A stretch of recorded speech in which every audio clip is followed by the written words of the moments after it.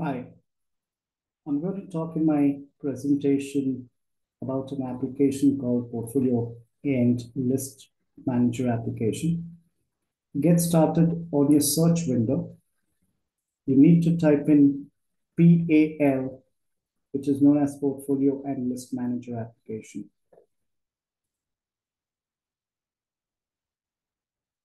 Step one, you need to click on Create New.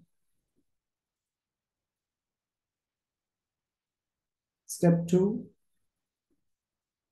you need to select the date of your holdings. I'm going to make a selection. This is on the 2nd of January. And with regards to the naming convention, it is going to be university name, country, and student name.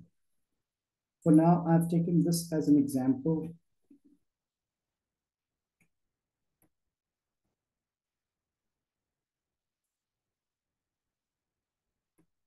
just going to put in N just to avoid duplications. If I've created one.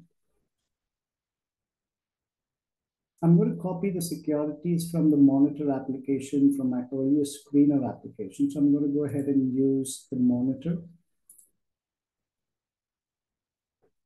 Copy securities from the monitor and you would have seen on my portfolio list, I have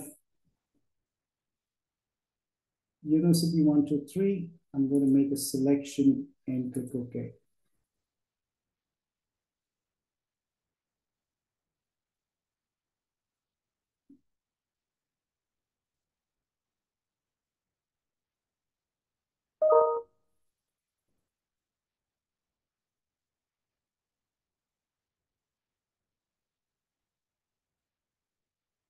Now I could manually adjust the weights as you see. I'm going to adjust the weights.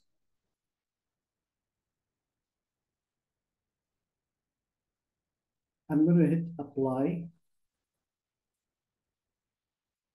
And I'm going to save this.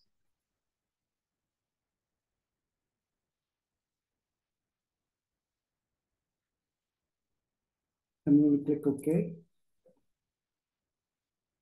You would have noticed within the portfolio details, this is the name that we have provided for the portfolio.